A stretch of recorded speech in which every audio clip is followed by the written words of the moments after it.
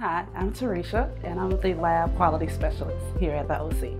As the lab quality specialist, I work directly with the medical assistants, nurses, and the doctors to ensure we have our lab results done in a timely manner, as well as work with quality assurance. I also train all the ladies in the lab to get them ready for their uh, new careers with the company. As a lab, clinical lab MA, we see all the patients as they come in. So we are able to draw your blood here, we're able to do your INR checks for clotting tests, we're able to do your urinalysis testing for you. We try to make everything as convenient as possible.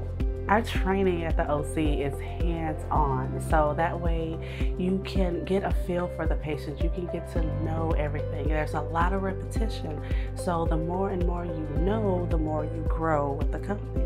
So you create new habits working here.